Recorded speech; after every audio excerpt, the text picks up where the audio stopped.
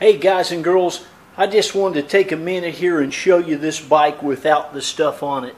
Again, as I said, this folks is the nicest Heritage Springer that I have ever had the pleasure to sell anyone.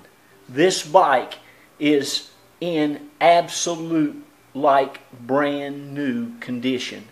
But I wanted to show you what it looked like underneath the seats and stuff.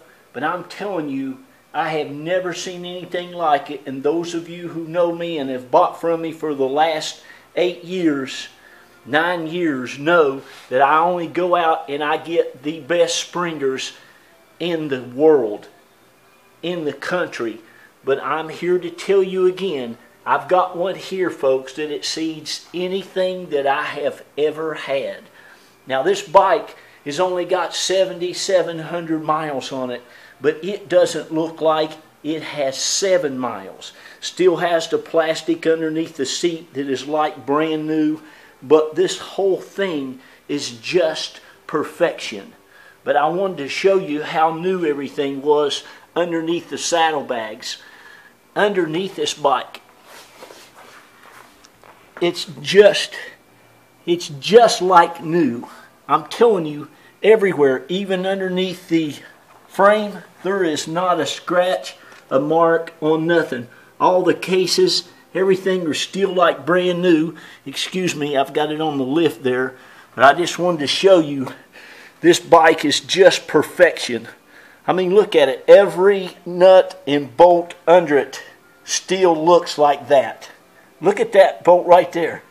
It's just in amazing, amazing condition. I'm telling you, somebody's going to get something very, very special here. Look, even underneath the floorboard, no rust, no corrosion, nothing. Looks like this bike might have been kept inside, I mean indoors, in climate control. The, the back wheel, all the spokes, all the spoke nuts, everything is just perfection. I think the man cleaned under the fenders of this thing. Let me show you. Oh, goodness. Oh, that hurt. Hit my head on that kickstand. I just wanted to show you though, it's just amazing when I when I come across something like this, it's just spectacular. I mean, this bike is just perfection. There's not a swirl mark.